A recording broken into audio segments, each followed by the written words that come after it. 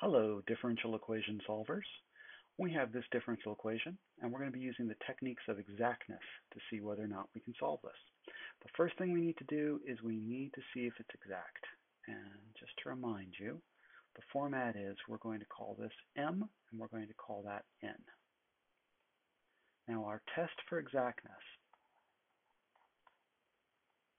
is we need the partial of m with respect to y equal partial n with respect to x.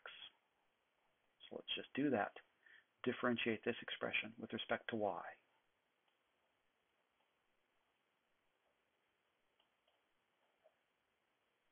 Okay, differentiate our n with respect to x.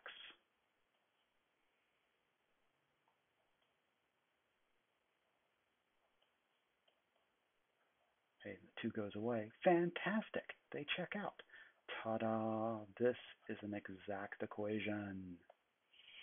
Okay, so what does that mean? Well, that means its solution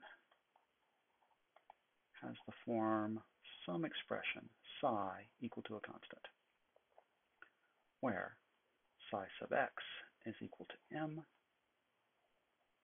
and psi sub y is equal to n. I'm going to handle this first equation. So we know that psi with respect to x is our m. That is 3x squared y squared plus 3y.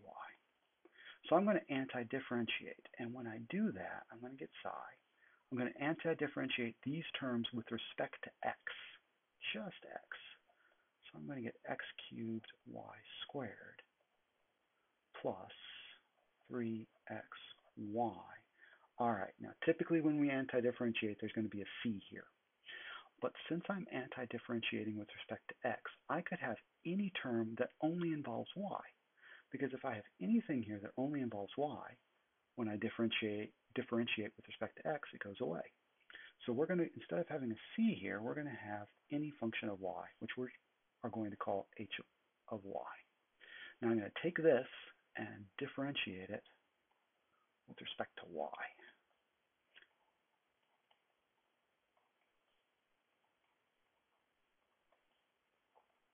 So when I differentiate h of y, I get h prime of y.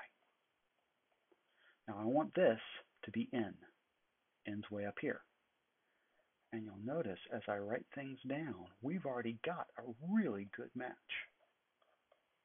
In fact, everything matches up, except I need that equal to that.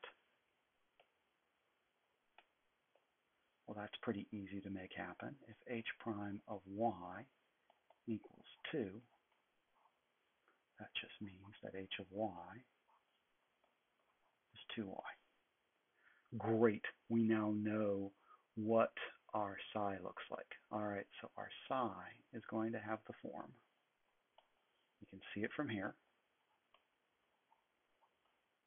What we found before. Add on what our h of y is.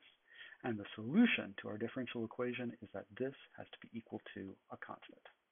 Note that this is an implicit solution, not an explicit solution. You really don't, well, maybe you want to solve this for y. I don't. We'll stop there. And that's how you use the method of exactness to solve a differential equation.